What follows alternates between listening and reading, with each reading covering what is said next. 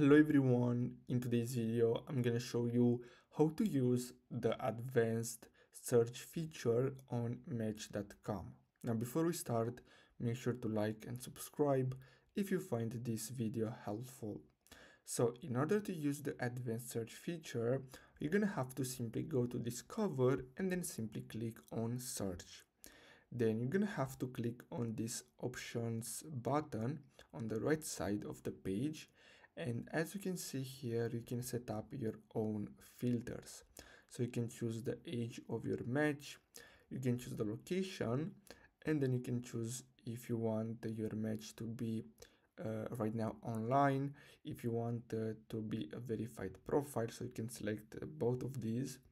And then you're gonna have some advanced filters such as languages uh, ethnicity education religion height children here if they want children or not. So you can see this is the family section.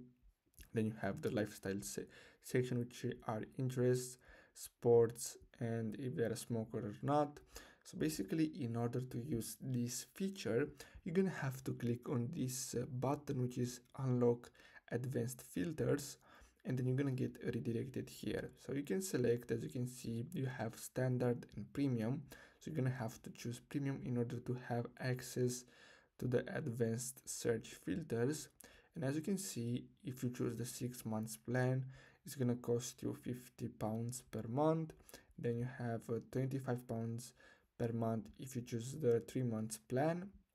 And then you have 35 pounds if you choose the one month uh, plan.